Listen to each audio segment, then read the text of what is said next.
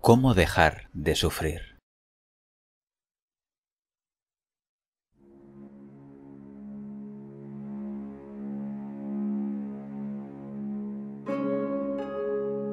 Este momento es exactamente como tú quieres que sea. Como ves, ante esta reflexión sencilla, aunque puede parecer compleja para el mundo, es muy básica, ¿verdad? Si tú pudieras trasladar esta reflexión y aceptarla como una invitación, ahora no, sino en todos los ahoras que vives, si pudieras recordar constantemente que lo que estás viviendo es justo lo que tú quieres, ya sé que muchas veces hay como un programa mental que te invita constantemente a criticar este momento, a resistirse a lo que pasa, a creerte que algo malo ha pasado. Sé que hay toda una cultura, todo un programa, todo un pasado que te dice que hay cosas buenas y malas y que estás constantemente categorizando y que todos lo hacemos. Lo entiendo, pero yo te estoy hablando de tu capacidad de ser libre de eso. Tu capacidad de ser libre de ese programa mental que está criticando este momento y cómo empezar por un punto muy sencillo. Ahora vamos a transformar la reflexión en una invitación.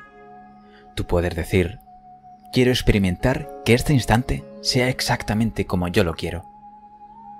Es decir, esto no significa que yo voy a imaginarme cómo tendría que ser este instante, sino que este instante ya es la respuesta a tu deseo subconsciente. Bien, puedes aceptar la invitación a reconocer que este momento es exactamente como tú quieres, o puedes aceptar la invitación a ser infeliz y eres absolutamente libre. Las cosas que este pensamiento alocado piensa pasan afuera a veces a tu gusto y muchas veces a tu disgusto. Luego ya sabes que ese pensamiento alocado no tiene nada que ver con tu libertad. Por eso se le llama programa. No tiene nada que ver con ser libre. Todo es un encuentro contigo mismo. Todo es una cita contigo mismo constantemente sucediendo. Todo es una elección mutua. En ambas partes de lo mutuo estás tú. Todo es una relación contigo mismo. Cuando conociste a alguien y crees que le hiciste daño, él estuvo totalmente de acuerdo contigo porque él eres tú y él estaba ahí para que tú sintieras lo que sentiste. Él eres tú. Es un pensamiento tuyo para ti. Todas tus relaciones están brotando del camino que tú te has trazado para tener primero una experiencia de sentirte separado, para ahora empezar a recordar que eres amor y expresar el amor aquí. Claro que el amor no tiene nada que ver con lo que hemos visto por ahí. El amor no tiene que ver con por ti muero. El amor no tiene que ver con los compromisos, con las obligaciones. El amor es libertad. Si el amor es libertad, el amor no necesita nada. Con lo cual, la primera confusión de este mundo es que se ha cambiado el amor por el apego. Te hace creer que estar apegado a alguien es amarle, que estar apegado a un sitio, a una tierra, es amar, que limitarte es liberarte, que sufrir por alguien es amarle, que sufrir porque crees que has perdido a alguien y por tanto creerte que es posible que alguien muera, que lo vivo muera. Crees que estás sufriendo porque amas en vez de que estás sufriendo porque estás confundido. Qué gran lección. Si sufres, es que estás confundido. Si sufres, es que no te enteras. El sufrimiento es siempre consecuencia de la inconsciencia. ¿Cómo va a ser consecuencia del amor? ¿Cómo podría el amor pedirte que sufrieras? Imposible. El programa es enrevesado. El programa es sofisticado. El programa ha sido lo suficientemente eficaz para que te creyeras una persona, para que te creyeras que has nacido en la verdad, para que te creas que mueres, para que temas la enfermedad y pongas todo tu mecanismo a funcionar, buscando la mejor manera de durar un poco más. Es decir, que te tienes que apañar por ti mismo y tú te has estado creyendo igual que todos que este mundo consiste en que tú te las apañes por ti solo. Intentas conseguir talentos y todo lo que haces se derrumba al final y ya está. Y este es el sentido de este paseo. Y claro, el vacío permanece ahí. El vacío se queda. No puedes seguir creyendo en lo que no tiene sentido. Sí, es convincente la perfección, es convincente la cultura, es convincente tu pasado, es convincente los programas mentales del sacrificio, de la culpa, del temor, del resentimiento. Tienes que percibir claramente la herida. Ves la herida en el telediario, ves la herida por todas partes. Ves los políticos haciendo una extraña y constante demostración de intercambio de críticas, de culpabilidades, y todos les pagamos para que nos den el espectáculo como si fuera un circo de leones. Es convincente el circo, es convincente el espectáculo, es eficaz, incluso te involucra, te hace luchar, te da la impresión de que tienes que reparar la herida que te has creído que existe. Reparar ese sufrimiento que parece estar por todas partes en tu experiencia mental. Y que tú, ¿cómo vas a estar feliz si ves sufrimiento por todas partes? ¿Cómo va a haber amor absoluto? ¿Cómo va a haber un Dios? ¿Cómo va a haber un ser de amor en mí si todo lo que entiendo y todo lo que percibo es incomunicación, opresión, sufrimiento y lucha? Y este es el punto en el que te empieza a interesar, el punto en el que, en un instante, dices, no tiene sentido, no puede ser. Algo te habla adentro algo más antiguo que el tiempo, más antiguo que tus memorias. Algo te dice, no puede ser verdad. Eres un experimentador libre. Puedes elegir que deje de tener sentido para ti la ira, que deje de tener sentido para ti la tristeza, el duelo. Puedes elegir que esto no tenga sentido para ti, igual que no lo tiene para mí igual que no lo tiene para cada pensamiento tuyo que lo elige. Puedes elegir que el sufrimiento no tenga sentido. Puedes elegir que la enfermedad no tenga significado. Es dar la vuelta a todo. Lo sé. Puedes elegir posponerlo. Puedes elegir empezar ahora. Puedes elegir ahora mismo desmontar tu chiringuito Puedes elegir empezar a reírte y ya no parar nunca más. No hay ningún motivo para que te sientas culpable por nada de lo que pasó. En realidad, jamás hiciste daño a nadie. En realidad no hay herida. En realidad, estás completo. Nada se ha deteriorado en ti. Eres totalmente inocente. No tienes nada que temer. Y aquí tienes las axiomas de la espiritualidad de todos los tiempos. No tienes nada que temer. Eres totalmente inocente. Y esto es porque gracias a Dios no eres una persona. Eres mente, eres espíritu, eres el experimentador, el sintiente, eres el ser siendo, eres la danza de Dios. Perdonar significa deshacer tus ilusiones, Perdonar es porque van a venir momentos en los que te vas a oponer a lo que este instante te regala, que es justo lo que tú te das. Van a venir momentos en los que te crees que alguien te hace daño, que alguien te ataca, porque sabes que van a venir esos momentos y sabes que están viniendo. Están viniendo porque te estás engañando a ti mismo. En tu camino van a venir más engaños y tú vas a poder elegir en este momento desahogo este autoengaño o continúo con el autoengaño. ¿Realmente me creo que alguien me ha hecho daño o empiezo a darme cuenta de que lo que está pasando aquí es exactamente lo que yo quiero?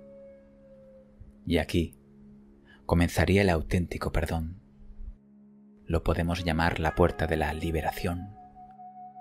Me doy cuenta de que tú eres yo, de que ningún encuentro es casual, de que todas las relaciones proceden del subconsciente, no del mío ni del tuyo, del subconsciente, de la única mente que somos.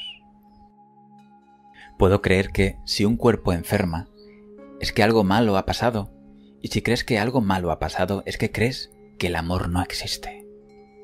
Crees en el mal, crees que hay una energía más fuerte que la libertad, crees en la separación, crees en la oposición, por tanto crees en el diablo.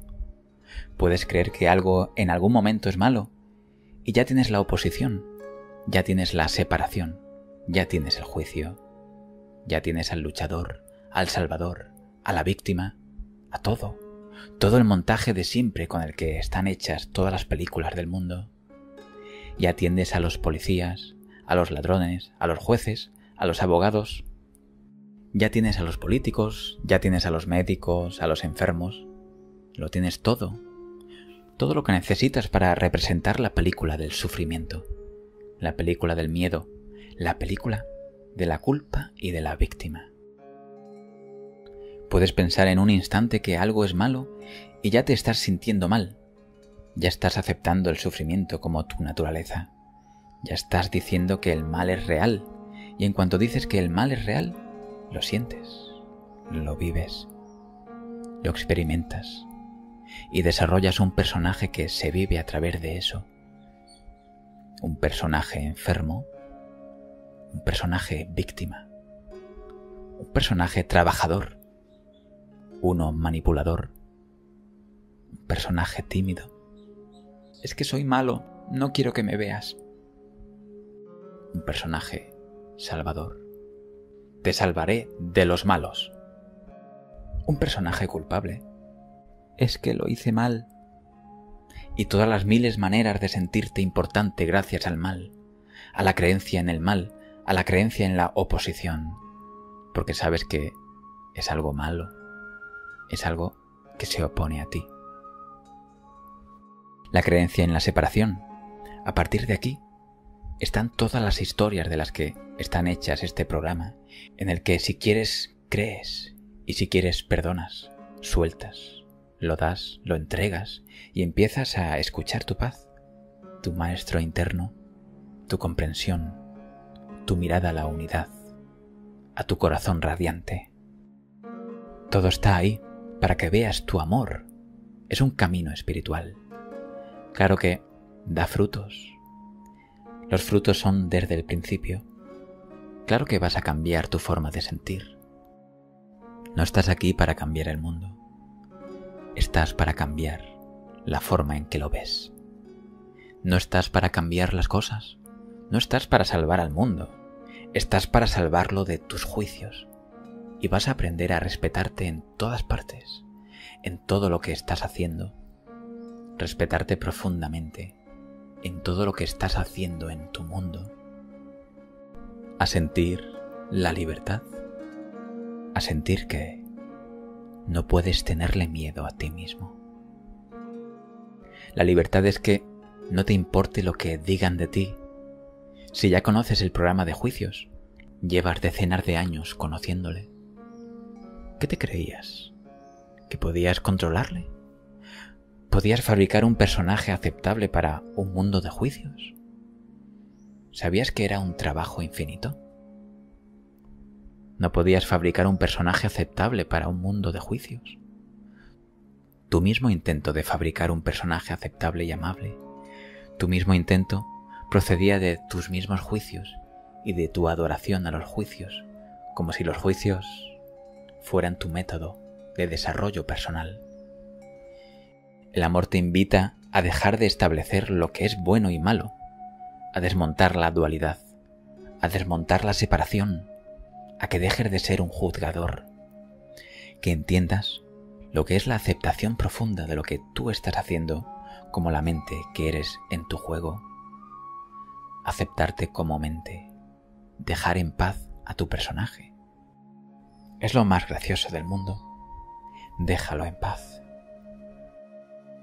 Es un camino gratificante porque la gratitud es el reconocimiento de quién eres.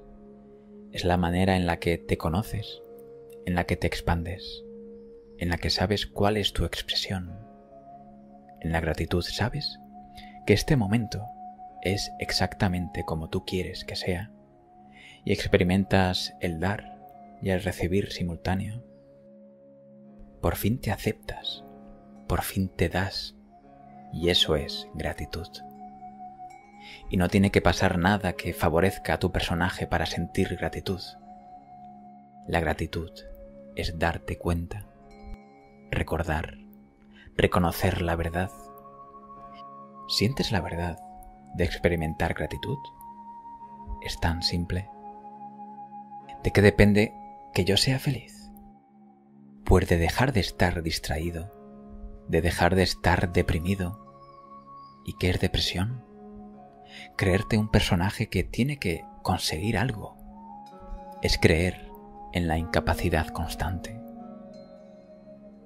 ¿Qué es depresión? Creer en la separación, en la muerte, en la distancia, creer en el rechazo, creer en la culpa, en el castigo, creer en la lucha como forma de vida. Libérate, sé agradecido, vive la vida, vive ahora. Si te gustó este vídeo, haz clic en me gusta, compártelo y no olvides suscribirte. También escribe en los comentarios. Yo elijo dejar de sufrir. Para yo saber que te gustó y te ayudó este vídeo. Te mando un abrazo. Soy Elías Benson.